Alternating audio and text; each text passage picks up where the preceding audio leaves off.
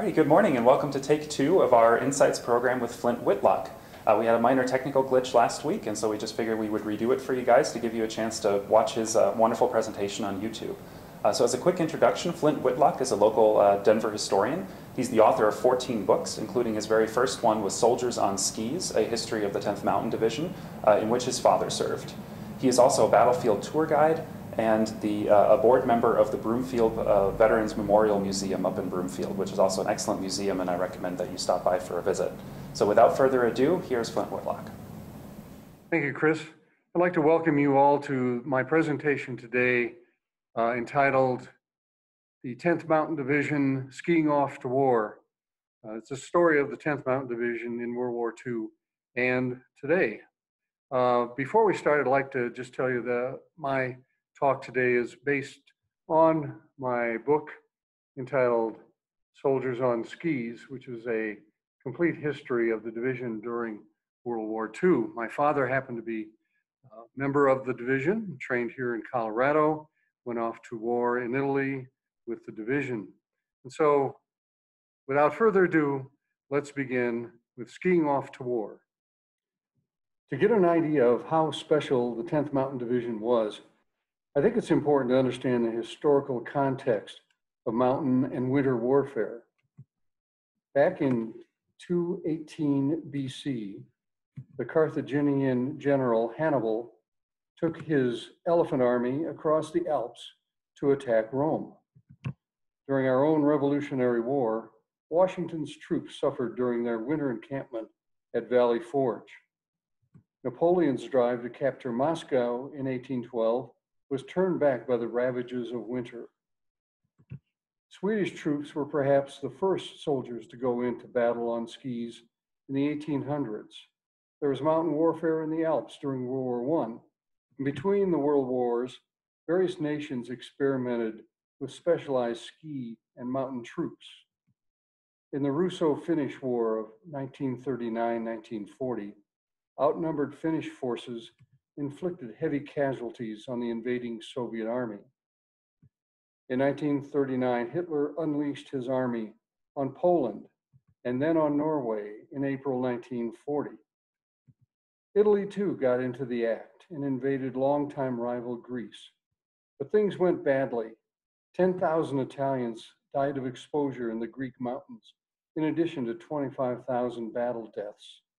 This forced Hitler to send German divisions in to help the Italians in Greece. At the start of the war, Germany had three mountain divisions. By the end, they would have 14, each one superbly trained to fight in the harsh alpine regions. How many mountain divisions did the US have at that time? Absolutely none. But one man saw this deficiency and was determined to do something about it. His name was Charles Minot Dole. They called him Minnie Dole, and he was the president and head of the National Ski Patrol System. He saw the war coming and knew that if the US got involved in the war, that we were unprepared for any sort of combat that might take place in cold and mountainous regions. He wrote hundreds of letters to President Roosevelt and Army Chief of Staff George C. Marshall, urging them to recruit and train a force capable of mountain warfare. But FDR and Marshall weren't interested. If the US got involved in the war, they said, we would need more regular troops, not specialized forces such as mountain divisions. But Dole persisted until he finally convinced FDR and Marshall that mountain troops would be essential. Probably just to get Dole off their backs, Marshall gave Dole the go ahead to recruit just such a force. It was the first time in history that the US authorized a civilian agency to recruit a military unit. Dole was elated, and since he knew just about everyone in the ski patrol across the country, as well as everyone associated with skiing and mountaineering, he sent out a call for volunteers. To be considered for acceptance, an applicant had to have a spotless record and would need three letters of recommendation from coaches, teachers, pastors, and the like. A lot of young men must have wanted to join the mountain troops because the recruiters received 15,000 applications. The fledgling division also needed lumberjacks, cowboys, rodeo riders, blacksmiths, and forest rangers tough men who were accustomed to living and working and surviving in the outdoors. But why cowboys and blacksmiths? Because the 10th would have thousands of pack mules and horses that would need to be trained and taken care of. So men such as Jim Like, a champion rodeo rider from southern Colorado, joined up. So did Paul Petzoldt, a member of the first U.S. climbing team to attempt to summit K2, the world's second highest mountain. And Peter Gabriel, a Swiss mountaineer and head of the ski school at Franconia, New Hampshire. And Austrian Walter Prager, the Dartmouth College ski team coach. Champion Austrian ski racers Toni Matt and Luigi Foeger also enlisted. The 10th had hundreds of foreign born skiers and mountaineers in its ranks. The 10th became a who's who of skiers. There was the Austrian ski racer Friedl Pfeifer, who would help start the Aspen ski area after the war.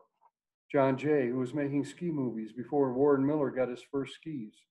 Steve Knowlton, an American college and Olympic skier. Pete Seibert, a college skier who would one day be one of the founders of Vail. And Dick Durrance, a professional ski racer who taught many of the 10th boys how to ski. There might even have been a bear tamer or two. Probably the most famous skier to join the 10th was Norwegian Torger Tokle, the holder of the world's record in the ski jump. There were also a slew of ordinary guys, such as my father, Jim Whitlock, who was from Chicago and had never seen a mountain or a pair of skis until he joined the 10th. In late 1941, the first element of what would eventually become the 87th, take two. In late 1941, the first element of what would eventually become the 10th Mountain Division began training at Mount Rainier, Washington. The US was finally thrust into the war when Japan attacked Pearl Harbor on December 7, 1941, and the troops at Mount Rainier stepped up their training while the Army went looking for a permanent home. The Army found it at a swampy, overgrown place called Eagle Park, located 100 miles west of Denver, high up in the Rockies between Minturn and Leadville. There was a railroad line and a small whistle stop known as Pando, and here the Army decided to build what became known as Camp Hale. I've circled the location here along Highway 24, 250,000 acres of private and public lands. But where did the name Hale come from? It came from Brigadier General Irving Hale, who had graduated from Denver East High School in 1877, went to West Point and graduated in 1884 with the highest grade point average in the school's history. During the Spanish American War, he led Colorado's regiment that captured the Philippine capital, Manila. And after the war, he was one of the founders of the VFW. Here you see engineers straightening the Eagle River that runs through the site. And here's a shot of the camp after the swamp was drained and it was cleared of most of the foliage. An army of 10,000 civilian workmen began building the camp. Here you see some of the barracks going up. When finished, Camp Hale would have almost a thousand buildings. And what do you think it cost? $30 million in 1942 dollars and was all completed between April and November of 1942. Here's a view of the completed camp looking to the north, and a view of the other half of the camp looking to the south. The entire valley was filled with what became Colorado's largest city, over 15,000 men. There were also over 240 members of the Women's Army Corps stationed there. The 99th Infantry Battalion mostly made up of native-born Norwegians, was also stationed at Camp Hale. Their hope was to be sent to Norway to liberate their country. In the lower right, you see Franklin Roosevelt talking with one of the Norwegians at Camp Hale. In August 1943, the 87th Mountain Infantry Regiment of the 10th became part of Operation Cottage, a joint US-Canadian operation to evict a force of Japanese that had invaded and occupied Kiska Island in the Aleutian chain. Here's the large armada involved in the invasion at Kiska Harbor. And here are American troops coming ashore. A group of Japanese midget submarines. What the invading force didn't know was that the Japanese had secretly evacuated Kiska a few days before Operation Cottage was launched. When the troops landed, they rushed up the barren, fog shrouded slopes and began firing blindly at any noise they heard. Unfortunately, they were shooting at each other. There were casualties. 313 Americans and Canadians were killed by friendly fire and booby traps, and 2,500 were wounded. 17 of the dead and 50 of the wounded were from the 87th Mountain Infantry Regiment. In January 1944, the 87th Mountain Infantry Regiment ended its occupation of Kiska and returned to Camp Hale, where it joined two other newly formed regiments, the 85th and 86th. The 10th was now complete. Training the entire division could continue, climbing cliffs and mountains in the summer, ice climbing in the winter, and learning how to ski the Army way by the numbers. Troopers learned how to snowplow on Cooper Hill and learned how to sidestep up a steep slope with 90 pounds of rucksack strapped to their backs. The men of the 10th were probably the most well-conditioned soldiers in the entire U.S. or any other army. The 4,000 mules were also well-trained, for in mountainous terrain where there are no roads on which a truck or jeep can travel, sure-footed animals are the only way to carry supplies. The 10th also became known as what I call the guinea pig division, because the Army was always sending various prototypes of equipment to Camp Hale so that the men of the 10th could try it out and report on what worked and what didn't. Trying to find a vehicle that would operate in the snow was one example. Here's a one-man Jeep, an early forerunner of the snowmobile, a snowcat. The vehicle deemed most successful was the Studebaker M29 Weasel that could carry cargo, passengers, or tow a line of men on skis. But it was hard to beat the old-fashioned dog sled and when the machines and mules and dogs didn't work, the men became the pack animals. Somebody even tried to put snowshoes on mules. Not a very successful idea. Because so many of the mountain troopers were from rich families and Ivy League colleges or were exotic Europeans, the men of the 10th soon became known as the glamour boys. They got more than their fair share of publicity. Life magazine ran a feature on the division and the Saturday Evening Post had a cover illustration featuring a ski trooper in white camouflage.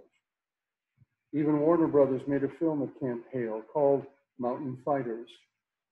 Training went on all year long, no matter what the weather, and frankly, the men were getting bored of doing nothing but training and worrying that they were going to miss the war.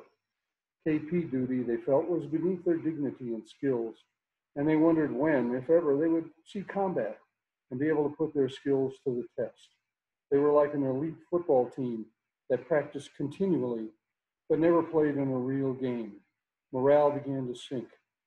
To amuse themselves, one weekend a group of 10th men came into Denver, went up to the top floor of the Brown Palace Hotel's atrium, and rappelled down into the lobby. The guests were delighted, hotel management not so much. The war was passing the 10th by. In November of 1942, about the time that Camp Hale was completed, the American Army invaded North Africa and finally met the Germans on the field of battle. In July 1943, when the 10th's training was in full swing, the Allies invaded Sicily and then in September, southern Italy. The march up the Italian peninsula stalled along the Germans' defensive line, anchored at Monte Cassino. To get around the line, the Allies tried an end run, landing up the coast of Anzio, 40 miles from Rome, but that advance too stalled. It wasn't until June 4th, 1944, that Rome finally fell, followed two days later by the invasion of northern France, known as Operation Overlord. But the 10th Mountain Division was still back in the States, playing war games in a remote Colorado Valley. They had done well during the D series maneuvers in February and March 1944, in spite of blizzards and minus 40 degree temperatures. But it seemed that the Army didn't know what to do with the 10th. They were too specialized. Their artillery was too small, and there were those 4,000 mules. Rumor had it that the 10th was to be broken up and then parceled out as replacements to other divisions that had suffered heavy casualties. But then, in the summer of 1944, new orders came down and the 10th was told to get on troop trains and head to Camp Swift, Texas for some flatland training. Camp Swift, Texas, near Austin, was every mountain man's nightmare hot, humid, dusty, and without a mountain in sight. Men got drunk, morale plummeted. Some went, went AWOL or requested transfers to the airborne or Marines or other units. But then something happened.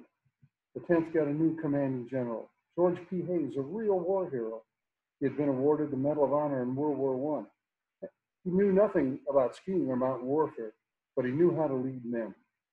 Late in 1944, the 10th left Camp Swift and headed for Virginia, where they boarded troop ships and sailed eastward across the Atlantic. The 10th, the last division to go overseas, was headed for Italy. General Mark Clark, head of the Allied forces in Italy, needed fresh troops to break the stalemate that had developed in the northern Apennines in the fall of 44. The fact that the 10th was specially trained for mountain warfare was exactly what Clark needed. A side note, after the 10th had left Camp Hale, part of it was turned into a German POW camp, one of 40 such camps in Colorado. With Camp Hale of no further use to the Army, it was dismantled. Back to Italy. In January 1945, the 10th arrived in Naples Harbor and was transported to the north of Pisa, where it was inserted into the front line. This is part of what their sector looked like. A five mile long, 3,000 foot high series of connected peaks called Riva Ridge. Riva Ridge and Monte Belvedere, to the east, guarded the road that led into the Po River Valley. German observers atop Riva Ridge could see any movement in the valley below and call down artillery fire upon it. Several attempts to take Belvedere had already failed by the time the 10th got there. The Army didn't think that the untried 10th Mountain Division that had gained a reputation as Eisenhower's playboys back in the States had any chance of doing any better than the other divisions that had already tried to take Belvedere and failed, but decided to give General Hays's men a shot at it. The 10th saw that the key to taking Belvedere was for hmm, take two. The 10th saw that the key to taking Belvedere was first knocking out the German observers on Riva Ridge. Routes to the top of Riva Ridge were plotted up the steep slopes that the Germans thought no one could climb. And on the night of February 18th and 19th, a thousand men climbed silently up the steep slopes and overwhelmed the Germans on top. By noon on the 19th, most of Riva Ridge was in 10th hands.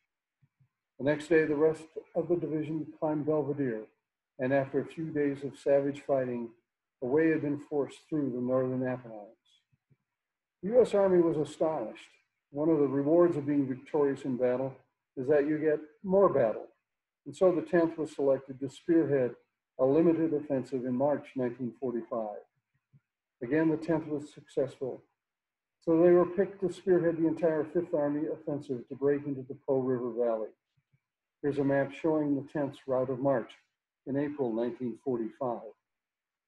During this offensive, the 10th staged the Army's last horse-mounted cavalry charge in battle.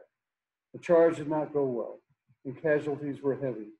In fact, April 14th marked the heaviest day of casualties for the 10th in their entire time in combat. Torger Tokle, the world record holder in the ski jump, was killed, along with John McGrath, the only 10th man to earn the Medal of Honor. There was another casualty. Second Lieutenant Bob Dole was a platoon leader who was hit while attacking a German machine gun nest. He nearly lost his right arm and spent many months in Army hospitals. But the 10th was the first American unit to reach the Po River and the first one to cross it using inflatable rafts. Once on the north side of the Po, the 10th led the way in chasing the Germans towards the Alps.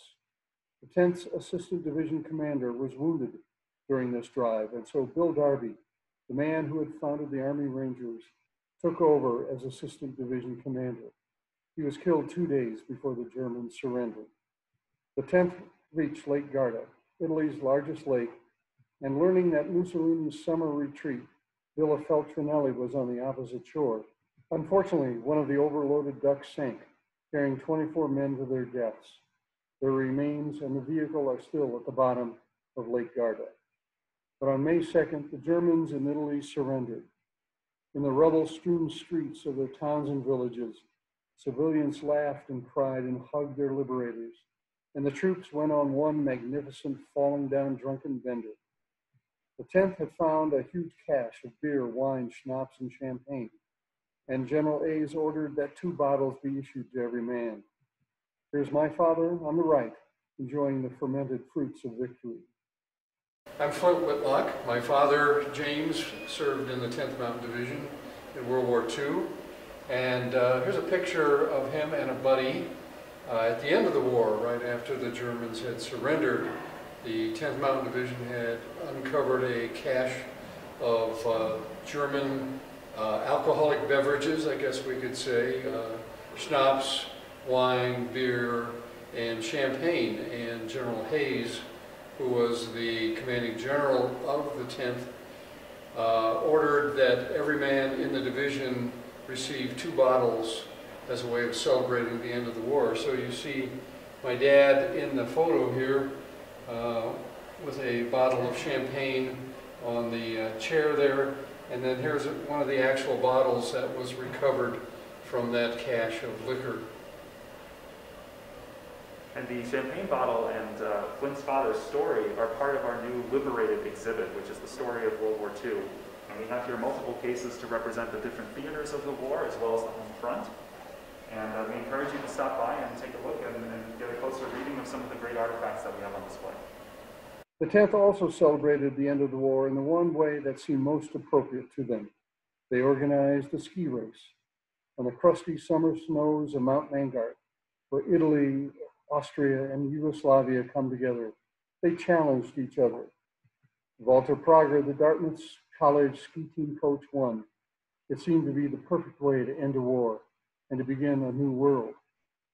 But along the road to victory, a thousand men of the 10th had died and 4,000 had been wounded. This is the American military cemetery at Florence, Italy, where hundreds of 10th men are buried.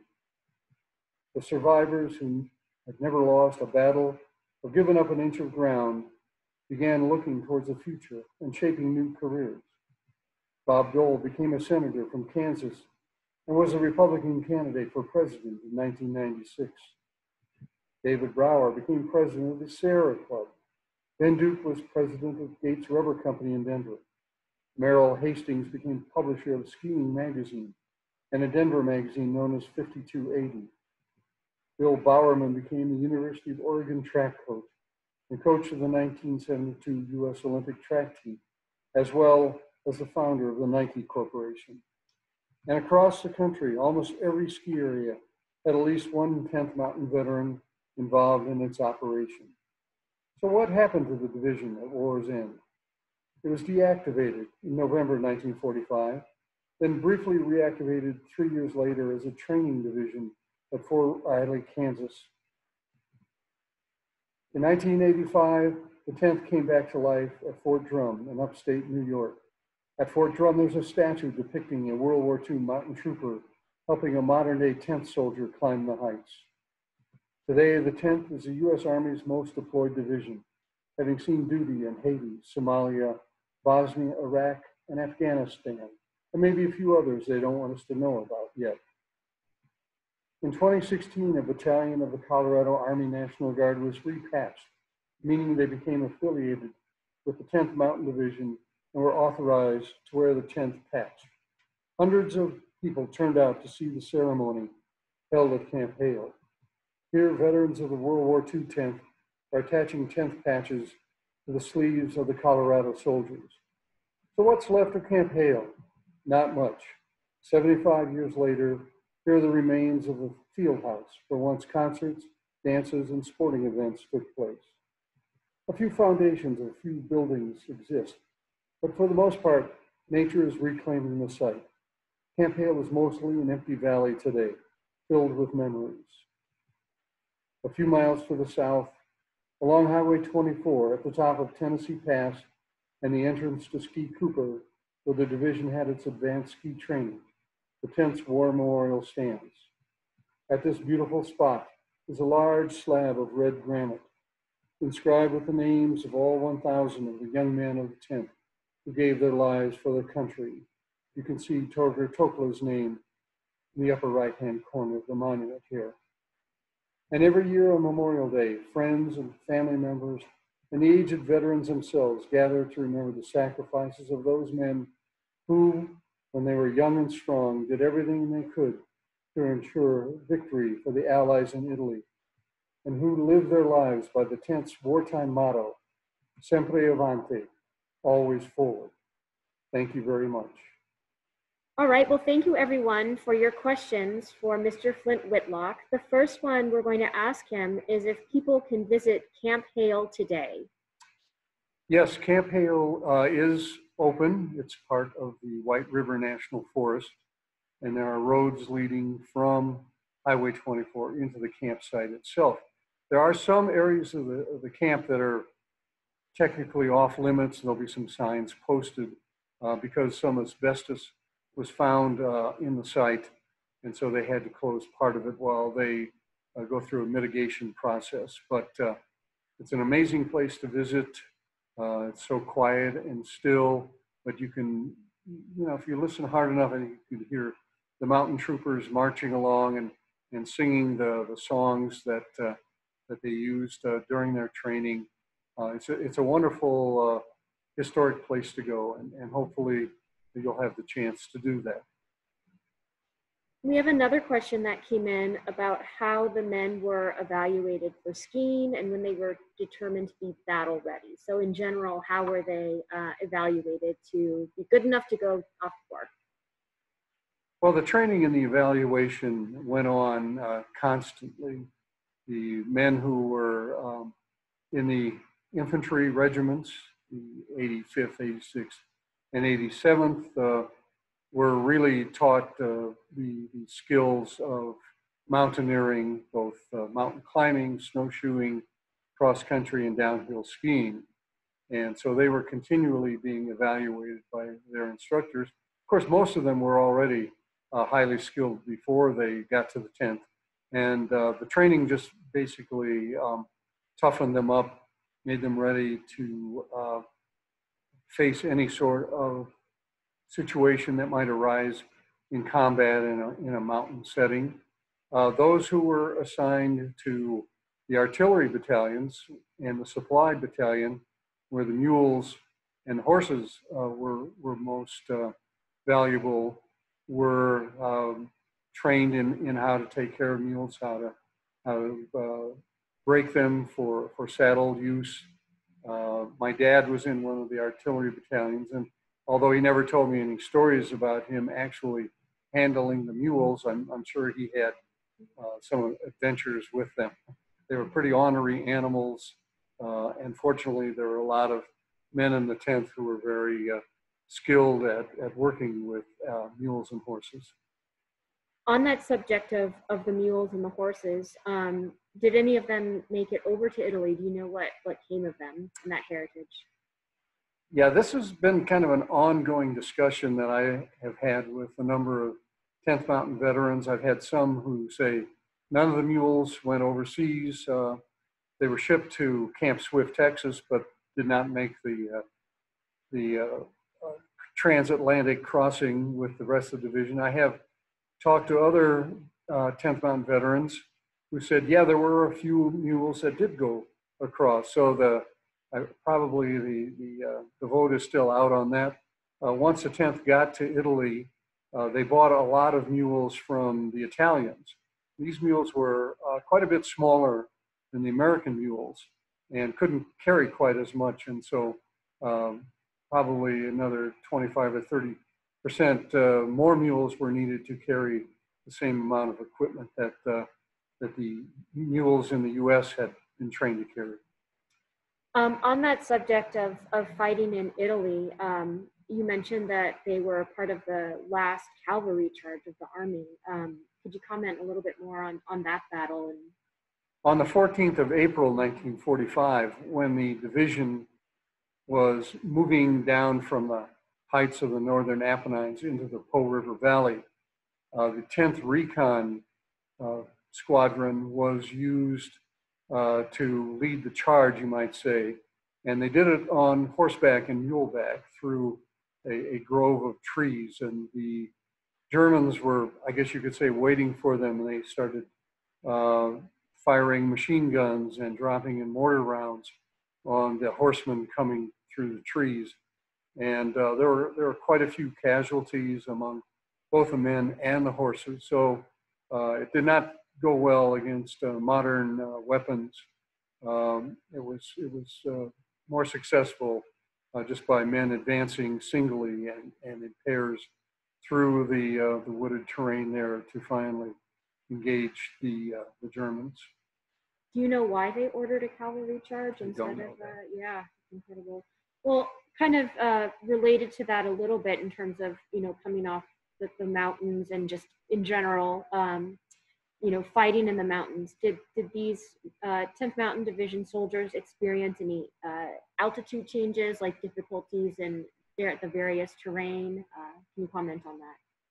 Well, when they were in Colorado training, Camp Hale sits at about 8,500 feet above sea level, and the surrounding mountains where they trained were anywhere from 10 to 13,000 feet high. So they were uh, quite well conditioned to operate in high altitudes uh, at that point.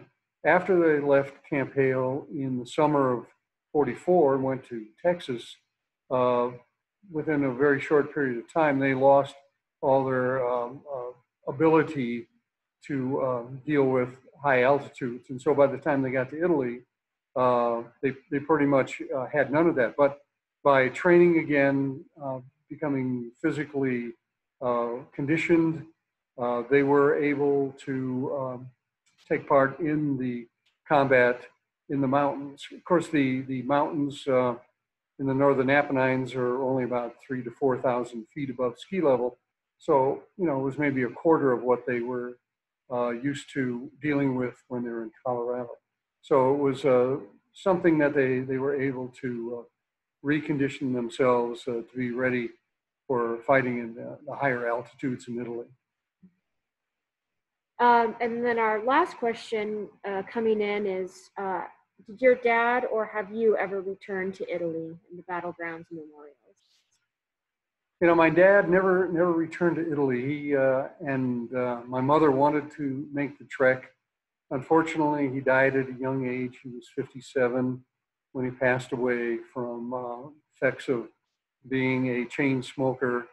Uh, so he and my mom never made it there. I've been back to Italy many times. Uh, probably my my most fond memory of a trip back was in 1995 when a a dozen uh, 10th Mountain troopers said, let's go back to Italy and reclimb Riva Ridge. This was uh, 95, you know, it's basically the, fifth, the 25th anniversary of the end of World War II. I don't know if my math is correct on that. Um, but it was 50 years uh, since the 10th Mountain had climbed Riva Ridge in 1945. And uh, I kind of wheedled my way in, and I was able to climb Riva Ridge with about a dozen of the veterans of the 10th who were going back uh, to relive what they had done uh, so many decades earlier. And it was, uh, it was a, a truly uh, memorable experience. Uh, I got a very small sense of what these men had accomplished there. Uh, we did this reclimb in the daytime, they did it at night. Uh, and we had no enemy waiting for us on the top. There was a group of Italians and uh, news reporters and TV camera people waiting for us when we got to the top of Riva Ridge in 95. So it was a lot less uh, strenuous and a lot less uh, worrying, but it was a, a wonderful memory that I'll, I'll always cherish. Well, thank you so much for for sharing that, and thank you so much for being here today and and sharing uh, your knowledge and your stories of the 10th Mountain Division. And uh, we're actually gonna turn it over now to uh, Anschutz's Assistant Curator of Military, Chris Juergens, and he's gonna show us some of our artifact holdings of the 10th Mountain Division. And then once again, uh, Mr. Flint Whitlock, thank you so much for being with us today. We really appreciate your time and knowledge. Thank you, Tim. Uh, so we're going to do a quick introduction of some of the artifacts in our collection. So as you may or may not know, History Colorado is one half of the 10th Mountain Division Resource Center, along with our partners, the Denver Public Library across the street. They keep track of all the photographs and archival materials, and we have the physical artifacts here in our, uh, in our facility. And what we selected here is uh, just a, a, a showcasing some of the unique equipment that the 10th Mountain Division uh, was, that was designed for them and that they used uh, both in their training at Camp Hale and on deployment in Italy. So I'll just go from left to right here and just give you an overview of some of the common equipment that soldiers would have, would have used in their time with the 10th. Uh, first of all, we have the uh, subject of one of their most famous songs, the rucksack. And this here was actually designed specifically for mountain troops. It's called the Mountain Rucksack. Um, and not only was it designed to carry enough uh, or have enough space to carry everything they would need for uh, multiple day patrols, but it actually had a unique design here too. It sort of mirrors some of the modern rucksacks that you might see for hiking or backpacking in that it has a separate uh, sturdy frame to, to help, keep, um, help keep everything situated low around the hips. Um, and it also was able, you were able to detach this metal frame here and then pair it up with a couple of pairs of skis and some specially designed clamps. Uh, and then the rucksacks could be turned into an emergency sled uh, for getting wounded out of a combat zone. We also have here, of course, a set of uh, mountain ski goggles. Uh, these were fur-lined and uh, had an elastic strap to fit around uh, the back of the neck. And uh, they, went, they went through several different iterations of, of these kinds of ski goggles, and this is the final design that they settled on. And basically, it was important to keep cold wind out of the eyes of the soldiers, as well as uh, keep protect their eyes from the effects of not only the, the sun directly, but the sun glinting off of snow while they were out on patrol. And here's a typical 10th Mountain Division patch. It's of course a very iconic design. Uh, the blue in the back field is representative of the infantry. The cross bayonets, of course, are uh, also indicative of the infantry, but they also form the Roman numeral 10 for the 10th Mountain Division. And the entire patch is in the shape of a powder keg, again alluding to uh, the infantry role. And then here we have a system that uh, the 10th Mountain Division used on patrol. Uh, it's a two-part system. You would have a, uh, a wool, wool mitten here, and you notice the separate trigger finger. And then there was a corresponding what they called a mitten shell. And this mitten shell also looks like a general mitten here, but had uh, has an opening here where you can actually take your trigger finger and move it outside of the mitten in case you need to operate your weapon. And so obviously that was important for them to have at the same time as they wanted to make sure that soldiers had plenty of protection against the snow and the wind. Then here we have uh, a set of gaiters. Now, U.S. Army troops, uh, I mean, in the entire Army and all the divisions had gaiters of some kind. Um, this particular set is a, is a ski gaiter. Uh, they're a little bit lower than some of the other sets that the Army issued. And uh, of course, uh, faded a little bit with age here, but the color was originally white, obviously, to help uh, with, with camouflaging the soldiers. And uh, the purpose of these gaiters was twofold. I mean, the one was to help protect the hardware on the actual boots. Uh, specifically, the, the lacing would be contained underneath the front of the gaiter and make sure nothing snags there. Um, but then it was also to help keep snow out of the top of the boots, which of course is important for the 10th uh, Mountain Division. And then back here, we have some other uh, pieces of equipment that are unique uh, to the 10th Mountain. Uh, for example, this here, of course, is a mountain piton. Uh, a lot of these are manufacturer marked on the side, uh, so that's how you can tell a, a wartime issued one. And uh, these you can actually still find in the cliff sides of, Camp, of Camp Hale, where they were originally placed during training in World War II. Next, we have another pretty innocuous item, but another one distinct to the division, and that is a, a mountain brush, as, as they called it. Um, which is a brush that was specifically designed to just get snow off of equipment, skis, and even the bottom of your tent. Next, we have probably the most distinctive piece of equipment that everyone will recognize quickly in, in pictures of the 10th Mountain Division, and that's the ski mountain boot. And uh, a veteran actually wrote into us back in the 80s saying that, you know, like most things that the Army designed that were uh, designed for two different purposes, they were particularly, not particularly good for either one. And uh, in this case, it was, so a ski mountain boot was intended to have uh, aggressive treads, as you can see here, uh, for mountain terrain and, and hiking. And uh, these rubber soles were actually made by Goodyear. Um, but at the same time, they were intended to be used as ski boots. So you can notice here uh, some of the distinctive parts are like these metal clips here that are supposed to help protect the boot against the ski bindings, uh, and this very angular design that helps keep the bindings in place. Should also note actually that the that distinctive front here, that very boxy large front, uh, part of that reason too is that they wanted soldiers to be able to wear multiple pairs of these wool socks if needed. And then here we have another piece of distinctive equipment, and that is the mountain parka. And so what's kind of neat about this piece is, once again, the Army wanted to be efficient and wanted to have equipment be usable for multiple, uh, for, for multiple situations. Uh, the parka is actually entirely reversible. And so on the one side is white uh, for camouflaging against the snow, and then the other side is this olive drab that is the standard, uh, that was the standard military uh, clothing color at the time. And then finally back here, we have a ski skin. Now the ski skin was, uh, I mean, th- these are, these are pieces of equipment that are still, of course, in use today. Um, and it basically allows a skier to climb up slight inclines. Uh, you would attach them to the bottom of the ski, usually with some kind of an adhesive. And uh, these ones here are made of mohair, which is a, a, an artificial fur uh, that lies flat in the one direction and stands up in the other to help uh, create friction and keep the skis in place. They're called ski skins because originally those, uh, that fabric side was actually made with uh, seal skin. Um, but as the war dragged on and, and the, the amount of equipment required increased, uh, they started looking for artificial alternatives. And then finally, we have a couple of pieces here that just help illustrate kind of the unique role the division has in terms of uh, its legacy and history that is, is unlike any other division in, in the U.S. Army. Um, and that is the uh, tremendously enthusiastic and dedicated uh, descendants and, and association uh, that the 10th Mountain Division has. So what they actually have here, what we have here is two examples of commemorative coins, or medals, I guess, uh, that were given to veterans and their families who traveled back to Italy with the association, where they would go and do battlefield tours. And uh, that's something that continues to this day, although, of course, fewer and fewer veterans are able to join uh, themselves. Their families still go on these, on these annual pilgrimages and uh, are, are very active in maintaining the 10th Mountain Division history and legacy here in Colorado.